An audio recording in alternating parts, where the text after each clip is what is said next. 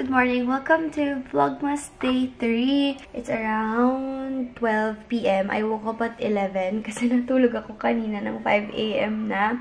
I'm now transferring files from my mom's S8 to my computer, which is such a hassle kasi diba Android 2. Ang tawag dito, Android 2 Mac.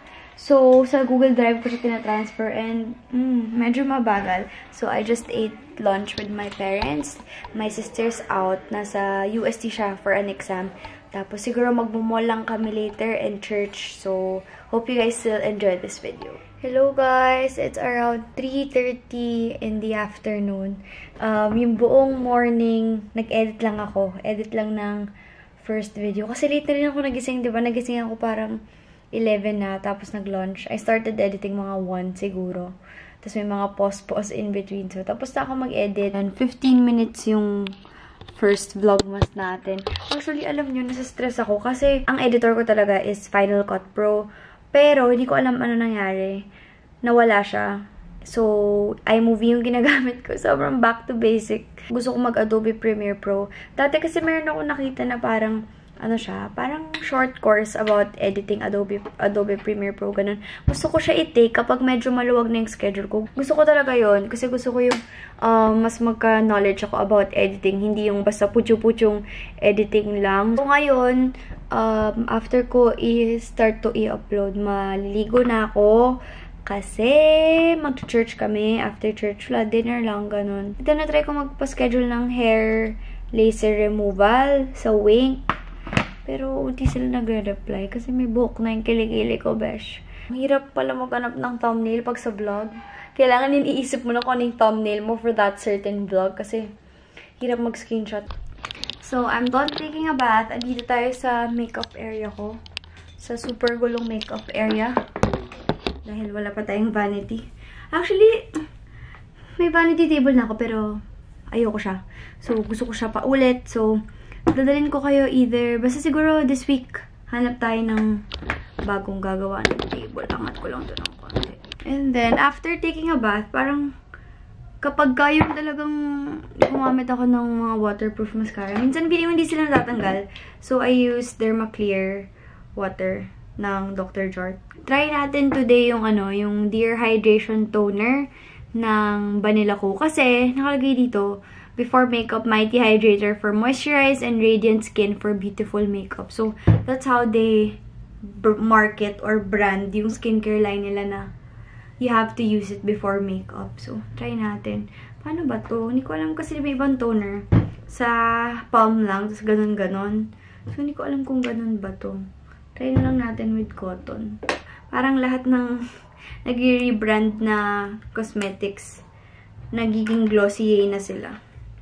Yung millennial pink or baby pink yung color nila parate. Mm. Oh my God! Oh my God! Almost kaamoy ni Sun and Park na beauty water. Asan yung beauty water ko? Hala! Oh my God! Super magkaamoy. Walang any stinging feeling. Parang water lang. Hala. May growing pimple ako. Bakit naman dyan ka? Hmm. Dalawa sila. Ito nga, hindi pa natatanggal eh. Hala. Hindi ako mapapakali. Tatanggalin ko yan. Feeling ko malalove ko to kasi parang similar siya sa beauty water. Super gusto yung ganun. Yung parang tubig lang. Pero, moisturizing. Tsaka super nakakatanggal ng dirt. Wait lang, nababother talaga ako. So guys, yung makeup na gagawin ko today, that's what I do usually. Siguro the past few days, yun lang yung ginagawa ko kasi wala akong masyadong time mag-makeup. So, pili ko 5 minutes ko lang to ginagawa, itong makeup na to. Dumi ng kwarto ko, no? Itong blue na to, kay Rejan yan. Diyan ko ilalagay yung vanity ko. Tapos ito, alisin ko yan. Dito ako mag-bed. Basta, super complicated ng changes sa room ko. Pero, hindi yun yung, um, hindi yun yung priority ko now. Kasi, like what I said, na nag-start ako ng bagong venture in life, yung business nga namin ni Chels na sobrang excited namin. Kaya, yun yung pinafocus ko muna. Ah, ang pangit niya. Brows first, Precisely My Brow ng Benefit in the shade number 3. Kapag marami akong time, nagkaka-brow pa ako. Pero pag wala, ito lang talaga. Kahit sa car, kaya ko gawin to. Kaya lang ako ata magdadrive eh. Kaya, kailangan ko na mag-makeup. I like this kasi it glides lang. Tapos hindi siya waxy. Ayan, look at the difference, diba? My gosh, wala akong kilay. Actually, inisip ko nga magpatat ng kilay eh. Alam niyo yun, para gigising na lang kayo. Tapos may kilay na kayo.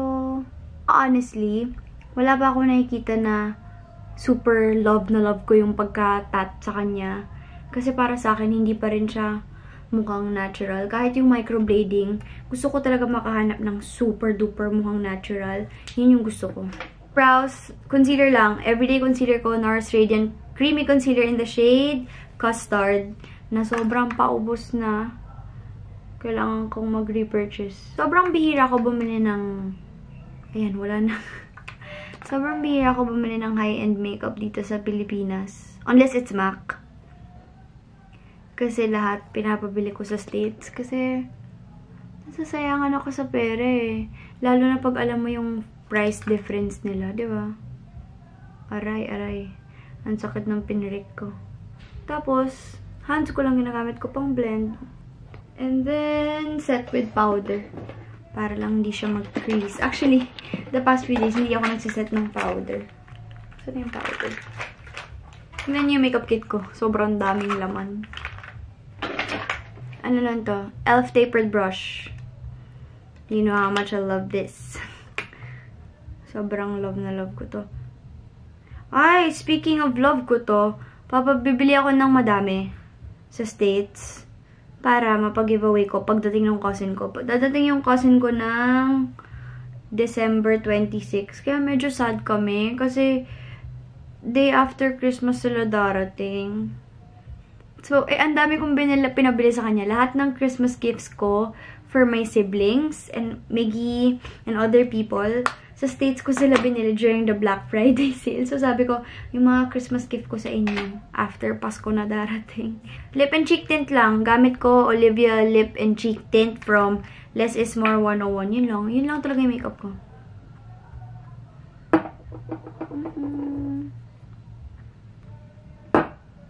Kahapon, sabi ni Mama, bakit pa may blush yung ilong mo? Bakit hanggang, ay, shit.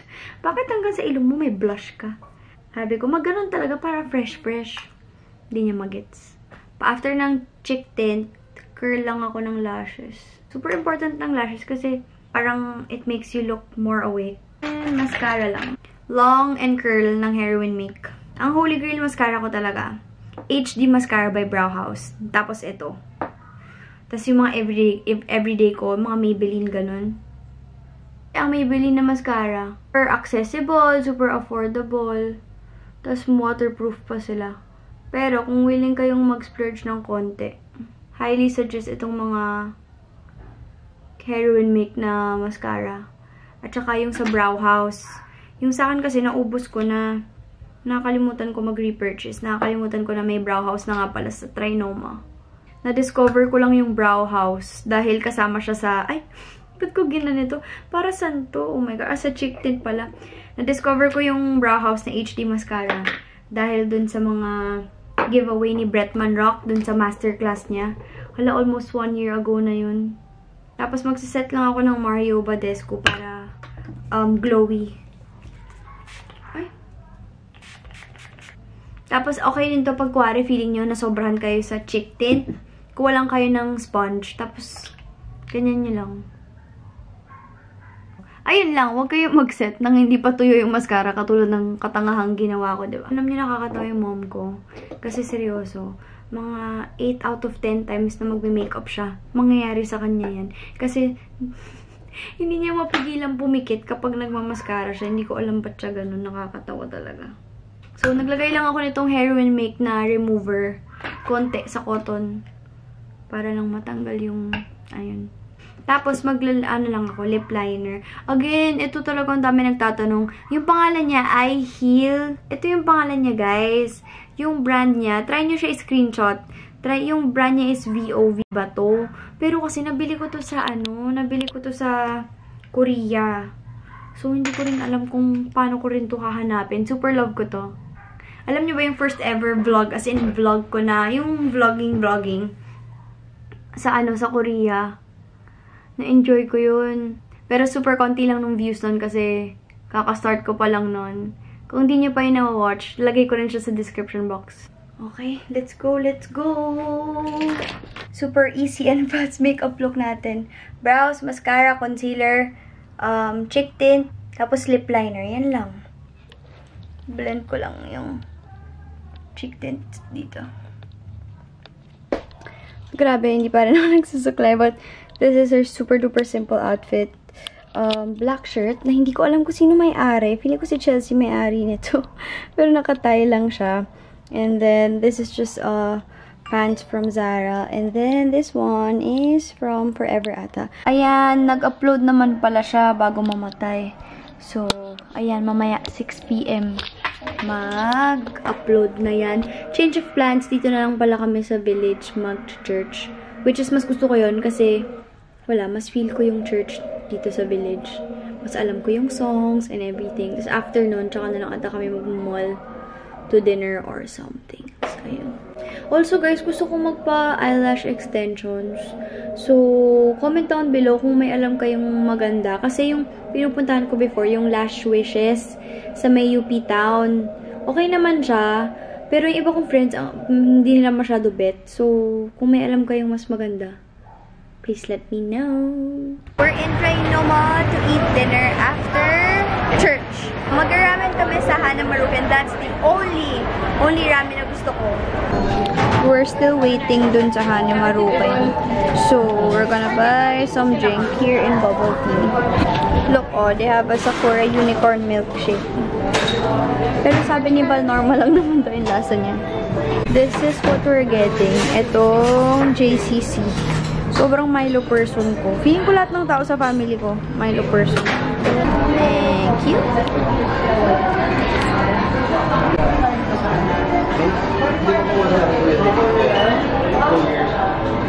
Sobrang ganda ng logo nila as in sobrang aesthetic niya. Even this. When K-drama is life. Camera ni mama. Sobrang crush niya din si Lee Jong Suk, guys. Mama, hindi ka daw loyal. Dati si Seung Jong Ki ka, ngayon si Lee Jong Suk. That is Happiness Ramen. Guys, alam niyo ba gusto namin yan yung shirt nila? Ayan o. Oh. oh, kuya, amin na lang yung shirt mo, kuya. Right sila kuwari. Hindi ito yung normal kong order, pero wala kasi. So, ito na lang. Spare ribs ramen ata. Pero mas masarap yung favorite ko, yung champon. Dito sa gilid ng Trinoma, may mga stalls. Tapos, ito, sila yung mas... Hindi ka daw niya bibili. Siya daw magbabayad. Hoy, bilan mo ko! Kuya! Yung favorite nila, ito yung Oreo na cheesecake. Super sarap na. Sa harap siya ng recipes. Hanapin nyo to guys. Masarap talaga. Naisip ko kung kunin ko to. So, this dress from Adidas and it looks so nice. Tingnan nyo. Ayan, ang cute niya. Kaya lang long sleeves pala siya. But it's nice. Although it's long. Ang cute no. Ito yung Puma na Kylie. Pero ang laki niya sa ulo ko. Tingnan niyo. Sana ganyan siya. Para mas okay. Hmm. Cute sana. Ito yung collab ni Kylie with Puma. Cute yung leggings. Yes, I'm back home. Actually, kanina ba, but I started editing yung clips kaninang umaga. Tapos, iduduktong ko na lang itong outro na to. I'm gonna end the vlog here na. Bago ko matulog, inayos ko na yung vlogmas schedule natin. Like, yung giveaways, kung anong ipapag-giveaway, kailan ko bibilin yung mga prizes for giveaway, mga ganon. I think, ang final ko na i-giveaway is a Polaroid camera, planners, at saka makeup kit. Yung napanood nyo kaninang umaga na makeup routine ko, feeling ko gagawa ko ng mga 2 or 3 na makeup kit para ma-recreate nyo yun. So, yun yung ipapag-giveaway ko. Para, to those of you guys na talagang clueless about makeup, at least pag na-receive nyo yung um, curated makeup kit ko. Kahit simple lang, talagang magagamit nyo. Tapos, I'm very excited to search for journals. Tapos, ayun, magigiveaway na lang ako ng isang Polaroid camera.